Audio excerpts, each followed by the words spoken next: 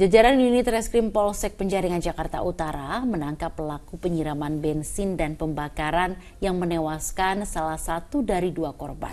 Pelaku mengaku tindakannya itu dilatar belakangi rasa kesal pada salah satu korban yang tak lain adalah mantan istrinya.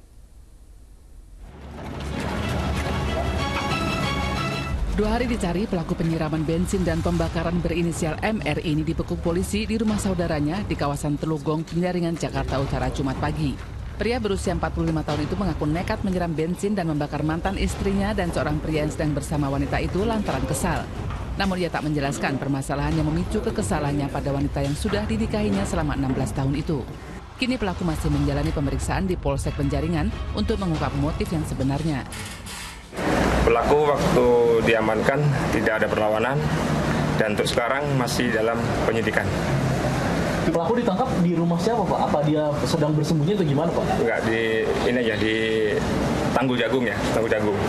Daerah mana Pak? Dari Telugong. Telugong. Sebelumnya sepasang pria dan wanita disiram bensin dan dibakar hidup-hidup di kawasan Jembatan Fajar Aladain, Pejagalan Penjaringan, Jakarta Utara. Korban pria tewas di lokasi kejadian, sementara korban wanita yang merupakan mantan istri pelaku masih dirawat di rumah sakit. Arafah Supandi melaporkan dari Jakarta.